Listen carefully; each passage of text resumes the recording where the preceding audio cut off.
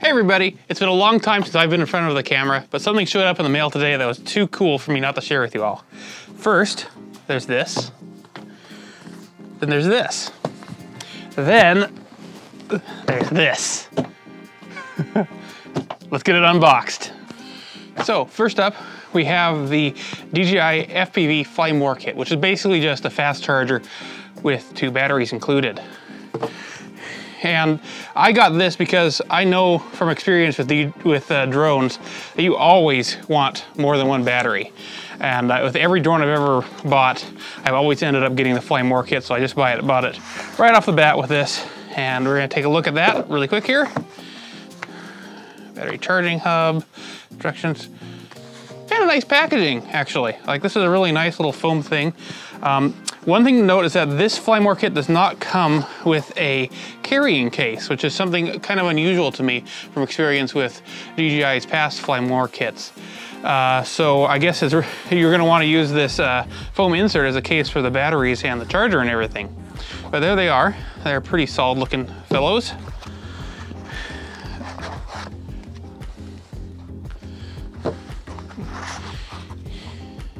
And I guess that's the charger itself. Huh. Pretty simple. I don't, I thought I would have like a cable with it, but I guess they just assume, I guess it just uses the one with the drone? Huh, that's interesting. This is a pretty bare bones Fly More kit. It's still a great value.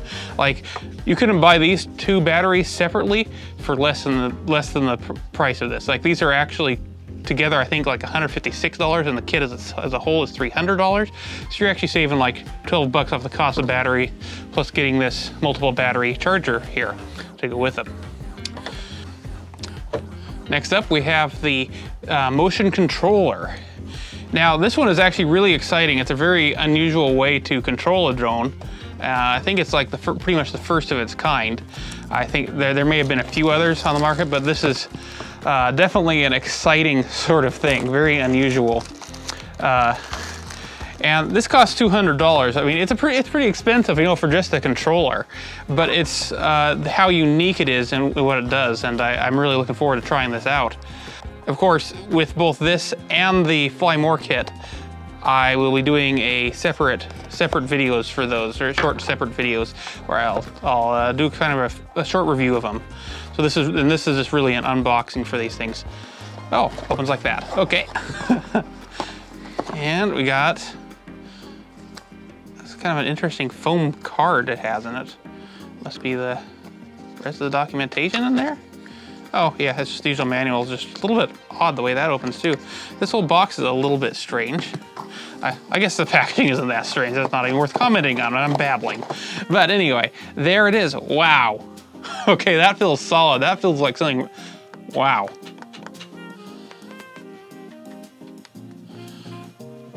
that feels like a really serious piece of kit. This is like something you could imagine in like a jet, like straight out of a fighter jet or something. Uh, that, okay, it, I thought $200 is a little bit pricey, but feeling this, this feels like a $200 uh, remote. So that is really exciting.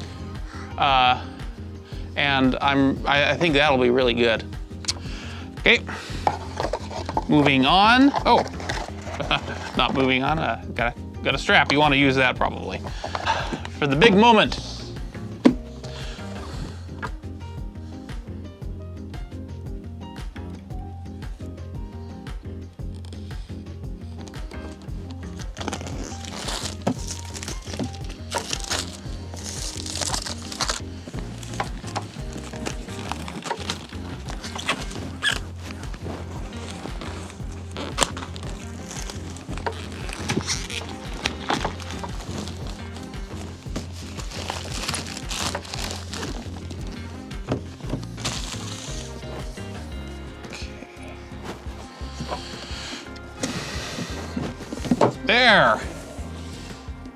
Whoosh. Okay, that is, I gotta say, that is some pretty cool packaging there. And what, what a machine. Oh, that feels solid. That is a heavy drone. That's at least as heavy as my Mavic. Wow. That is a serious piece of kit. As is this crazy alien looking pair of goggles here. Wow.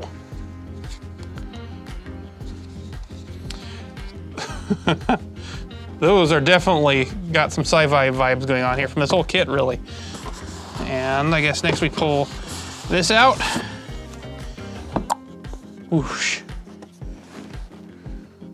There's your controller. Feels very much like a, well, it really is a video game controller. Um, pretty familiar feeling. Interesting sort of hammerhead shaped antennae that's got on it. And everything inside is kind of neatly organized into boxes. We've got the propellers, looks like. Yep, those are propellers. And you got a second box of propellers, spares, which I know I will need. and, oh, this looks like all the parts of the headset right here.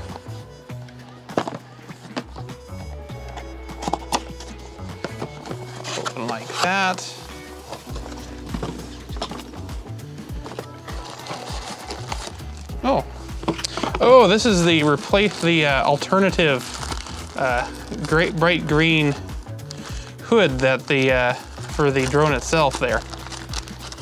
Oh, actually, yeah. So that's a. It actually comes with a spare shell, which is essentially what that is. So you can put that right on there, and have it be bright green, which I will probably end up doing because I like bright green. Although this translucent look. I gotta say, it's pretty sweet. And next, oh, that's just the head strap. I wish they made these bags so that, you know, they weren't just useless, they could be reused. I wish they, uh, why include bags that aren't, you know, reusable in here? Like you have to tear open. Uh, seems kind of silly anyway. And that is, feels like, feels like it should be fairly comfy. And ooh, cables, USB-C.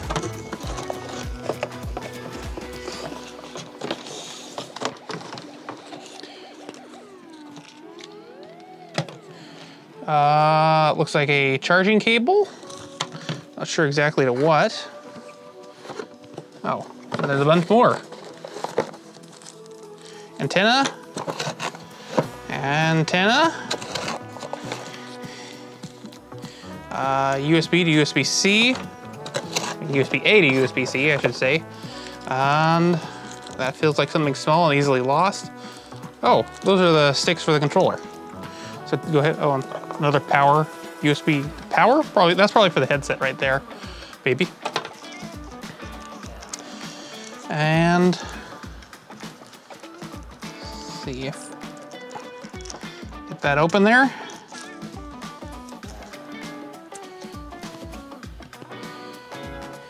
Yep.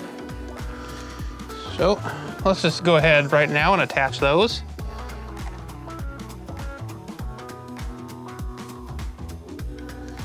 Yeah, those are kind of fiddly to attach. They're not, they're not quite as easy to screw and unscrew as the ones on my Mavic, I've got to say. Um, that, that's not too bad. See how that feels. Oh yeah. Those feel solid. Um, I've got a I'll have to try those out and see how I, see how I feel about them. They, they seem pretty solid right now. Let's get some of this out of the way. Propellers back in there. Nothing else in here, just a bundle of instructions and things. Hmm, that looks like I'm gonna guess this is going to be batteries. Yep, that's a battery. Uh, that's the headphone battery. Or the, I mean the headset battery right there.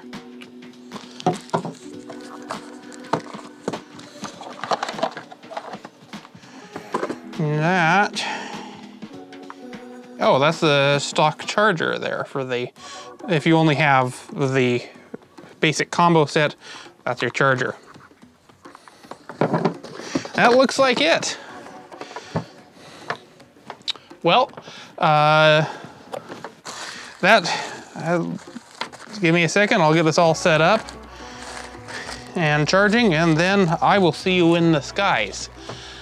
In just a few seconds here, your time. For me, it'll be hours of painful waiting. Yeah, let's get going. Well, I'm gonna have to end the video here because I cannot get this drone working for the life of me. And even if I could, it's now pitch black, it's nearly midnight, and I've been working on this stinking device all evening long because uh, DJI can't get their software and firmware into a fully working state at launch for any of their products. At least that's been my experience. so first I download the DJI Fly app. Okay, that goes just fine. Uh, but that's where everything goes wrong because the DJI Fly app will not recognize the uh, DJI FPV drone. It just won't. Like, it's not even listed in the app anywhere. And that's because it's out of date. The, the app in the uh, Google Play Store is completely out of date. So uh, you have to download directly from their website. I found this out only after searching through the forums to uh, figure out and getting help from the people there who had already run into this issue because I'm not alone in, this issue at all. So I, get, I go to, I download that, but that version of the app won't install on my Galaxy Note 9 here. Uh, and I should say that this, this is, if you're using an, if you're using Apple, if you're using an iPhone, you're not gonna have any of these issues. If it, this is exclusively an Android issue, and I have no idea why DJI hasn't put the updated app into the Play Store so that it's like at least easier to in, uh, easier to install. Uh, you know, just update the app, please. Uh, it's been the device has been out in the pub in the public for a full week now. The app in the App Store should be updated. Um, so anyway, I try and try and try again to install that app. It just won't work no matter what I do. So I go, I decide to just plug the, the drone into my computer and see if DJI Assistant 2 will work, and it doesn't. I have to install another piece of software, DJI Assistant 2 FPV version. I think that something called something like that anyway. It's the FPV version of DJI Assistant 2. I don't know why they didn't just add the uh, DJI FPV drone to the regular version of DJI Assistant 2. Uh, I don't understand why there are two versions of the same software. Uh, can you just update it? Anyway, uh, so I do that and I'm finally able to update the firmware on the drone and the headset and everything. And so I get to do that, but you can't activate the drone uh, through DJI Assistant. You've got it, you can only activate the drone through the DJI Fly app. And I only learned that after several hours, a bunch of hours. Six hours? I don't actually know anymore. Anyway, so where I am now is I've got a updated functioning drone that I can't fly because DJI, DJI needs me to go through their little DRM activation sequence again, which is super frustrating. I mean, if you if you live somewhere without an internet connection, and there are people who do, who might, and they might very well want to buy this drone. Of course, they won't see this video because they don't have an internet connection. So uh, I don't know where I was going with that. Anyway, uh, if you have an Android device, uh, be a little bit wary of this drone, at least until DJI has worked out some of the kinks in their software. And just, just got in their just got in their software and firmware over in order so that it works with Android. Um, and yeah, it's just quite frustrating. And excuse me if I've been ranting a little bit about this, but all, all I ask DJI is that when you release a new product, beforehand make sure all the software and firmware for the thing is in working order. Like so that your users can actually use it. If you're go, especially if you're going to have things like a mandatory activation for your products, then make sure that the software that is used for that activation process is functioning. Like this is this was a problem for video games. I remember back in the day, like 20 years ago, you, you buy a video game and then you couldn't use it because their the uh, DRM software in the that the developer put into it just made it you know non-functional and made it so you couldn't use the product you bought. And uh, the same thing is true of DJI with their software. And uh, I personally don't believe that hardware should come with uh, restrictions like that on it. I understand why it does, but it, it irks me nonetheless. And I'll, i hope that this little uh, rant slash PSA thing at the end of this otherwise very excited and happy unboxing video. It took a very dramatic left turn there at the end, I guess. Uh, I hope I hope this helps some but other people out there who are maybe trying to figure out what's what on earth is going wrong with their drone. Because uh, it's certainly been frustrating to me. I sure hope I'm able to fly tomorrow because I really am itching to get in the air. This is an awesome device. It really is. And um, yeah. Anyway, I'll see you all again next time, hopefully very soon with a truly awesome uh, first person view drone video. And uh, thanks for watching. Remember to hit that like, subscribe, bell icon, all that good stuff. All the stuff you do to help me with my channel. I appreciate all of it and I appreciate all you all for watching. And I'll say just say goodnight because I am just about to fall asleep myself. So yeah, bye.